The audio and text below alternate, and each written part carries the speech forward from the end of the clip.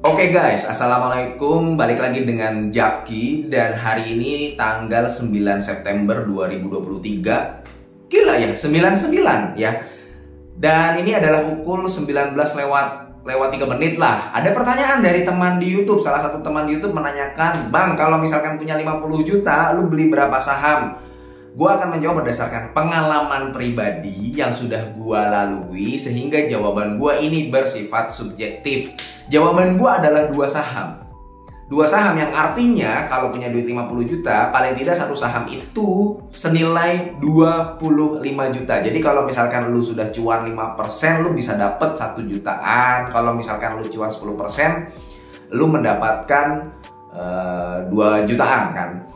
Karena gini guys, mencari cuan 10% itu tidak terlalu sulit di pasar modal walaupun tidak mudah juga. Jadi itu yang menjadi jawaban gua. Kalau misalkan punya 50 juta, gua membeli waktu itu dua saham. Kemudian pertanyaannya bercabang nih. Biasanya kan kalau misalkan ada orang nanya gitu ya, e, pertanyaannya bercabang. Bang, kalau begitu berarti tidak meminimalisir risiko dong, Bang. Kan harusnya melakukan diversifikasi. Enggak, dengan lu investasi dari leher ke atas itu sudah meminimalisir risiko guys. Kalau misalkan terdiversifikasi terlalu banyak, itu malah keuntungan lu tidak banyak. Malah lu tidak mendapatkan keuntungan yang maksimal. Jadi, dengan lu mengetahui siapa pengendalinya, perusahaan ini ekuitasnya bertumbuh atau enggak, perusahaan ini bergerak di bidang apa sih? Oh, dia bergerak di bidang pertambangan batu bara. Oh, dia supportingnya. Oh, dia mengeksplor migas Oh dia distribusi minyak dan gasnya Jadi beda guys Jadi setiap perusahaan itu memiliki informasi segmennya masing-masing dan dengan lu mengetahui, mempelajari si perusahaan ini dalemannya bagaimana, dalemannya bagaimana, itu sudah meminimalisir risiko. Jadi kalau misalkan ada pertanyaan apakah itu tidak meminimalisir risiko? Enggak. Menurut gue meminimalisir risiko caranya bukan mendiversifikasi terlalu banyak, tapi dengan cara lu mempelajari apa yang dilakukan oleh perusahaan tersebut. Kemudian pertanyaannya bercabang lagi nih guys. Bang, apakah harus perusahaan kapal induk? Enggak juga. Jadi walaupun waktu itu gue memiliki uang 50 juta ya guys ya Dan gue malah lebih suka perusahaan-perusahaan yang small caps Yang market capnya di bawah 1 triliun Yang market capnya di bawah 5 triliun yang bahkan kan lu tahu sendiri kan gue beberapa share portofolio dan ada beberapa portofolio gue yang lu temenan sama gue di Instagram yang market capnya bahkan di bawah satu triliun gitu guys. Jadi sebenarnya gue malah memang lebih suka small caps daripada big caps. Dan kalau misalkan lu perhatikan video-video gue di YouTube justru gue jarang membahas saham-saham yang big caps. Gue lebih sering membahas saham-saham yang small caps. Bahkan malah ada yang komen tuh bang kok misalkan lu beberapa akhir-akhir ini bahas saham-saham yang gak terkenal sih? Ada yang komen gitu di YouTube. Tapi nggak apa-apa.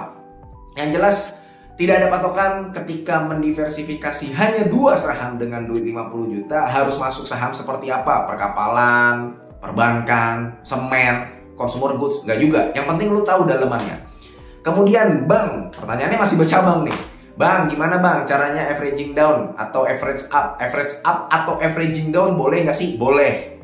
Contoh, ini udah 25 juta lu alokasikan untuk membeli saham A. Lu beli dulu nih, lu jangan langsung all in, jangan langsung 25 juta. Lu beli dulu 10 juta atau 5 juta, ya enggak 10 juta lah. Biasanya 10 juta lu beli, kemudian nanti kalau misalkan turun 5%, gak usah panik. Santai. Kalau misalkan udah turun 10% baru lu coba perhatikan ini ada yang salah gak sih ini? oh kayaknya memang ini fundamentalnya berubah nih oh ternyata si pengendalinya jualan nih oh ternyata dia mau reissue nih sehingga banyak yang kecewa. Nah baru lu coba pertimbangkan. Tapi kalau nggak ada informasi apa-apa ternyata sahamnya turun 10% nah lu waktunya untuk belanja lagi dengan duit sisanya. Tadi udah belanja 10 juta belanja lagi misalkan 10 juta. Lu masih ada sisa nih 5 juta. Nanti kalau misalkan turun lagi lu belanja lagi 5 jutanya. Seperti itu guys. Ini berlaku untuk saham yang kedua juga. Caranya begitu. Nah terus kalau turun terus bagaimana bang? Kan pertanyaannya masih bercabang saham itu makanya kalau bisa lu mencari yang valuasinya murah dan yang membagikan dividen jadi walaupun saham lu turun lu malah seneng sebenarnya lu bisa beli lagi ketika nanti lu dapat gajian, ketika lu dapat THR, ketika lu dapat pemasukan lain dari teman lu, dari orang tua lu misalkan atau dari pekerjaan, dapat warisan, lu bisa belanja lagi.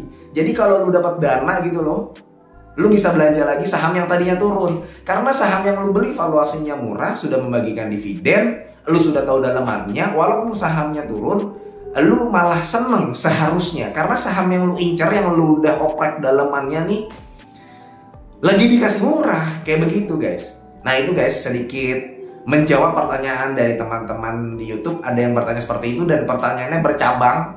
Pertanyaan pertama pertanyaan kedua pertanyaan ketiga dan keempat gitu ya. Nah ini gue coba jawab sebuah semuanya dalam satu video sekali lagi ini jawaban subjektif jadi pasti tidak semuanya cocok dengan yang menonton video ini. Gua akhiri, wassalamualaikum warahmatullahi wabarakatuh.